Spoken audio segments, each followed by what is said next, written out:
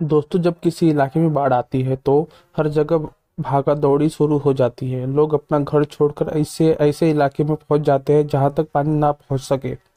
लेकिन यहाँ एक अजीब सीन देखने को मिला, जहाँ लोगों के घरों में पानी घुस जाने, जाता जाता हुआ नज़र आ रहा है और बच्चे बच्चे मज़े से गेम खेल रहे हैं। ऐसा लगता है कि उन्हें कोई फ़र्क ही नहीं पड़ता है। आजकल तो रील्स और शॉर्ट वीडियोस का क्रेज लोगों के ऊपर किस, इस तरह चढ़ कर बोल रहा है। ये क्लिप ऐसे ही होता है, ऐसे ही होते हैं। जिन्हें ना सिर्फ़ यूज़र द्वारा देखा जाता है, बल्कि जमकर एक दूसरे के साथ शेयर भी करते हैं। यही कारण है कि ये वीडियोस इंटरनेट पर आते ही छा जाते हैं। हाल के दिनों में एक वीडियो लोगों के बीच चर्चा में है।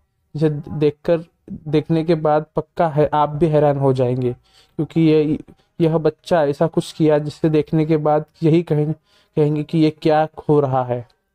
अक्सर आपने देखा होगा, जब भी किसी इलाके में बाढ़ आती है तो जगह जगह भागा दौड़ी शुरू हो जाती है।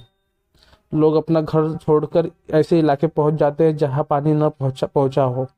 लेकिन यहाँ एक अजीब ही सीन देखने को मिला, जहाँ लोगों के घरों में पानी घुसा हुआ है और बच्चे मज़े से गेम खेल रहे हैं।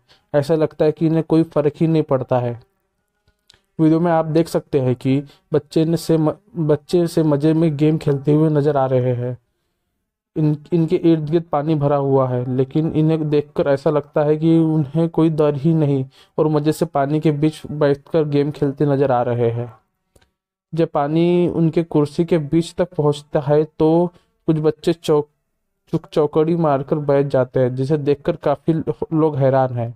इस क्लिप को एक्स पर at the rate crazy clips only नाम के अकाउंट द्वारा शेयर किया गया है। जिसमें अब तक पचास लाख से ज़्यादा दे, बार देखा जा चुका है।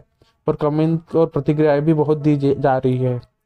एक यूज़र्स ने लिखा है कि अरे भाई कोई इन बच्चों को हटाओ जहाँ से वरना दिक्कत आ सकती है। वह दूसरे ने लिखा प्राण जाए पर जाए शौक ना जाए। इसके अलावा और भी एक कई यूज़र ने इस कमेंट को अपनी प्रतिक्रिया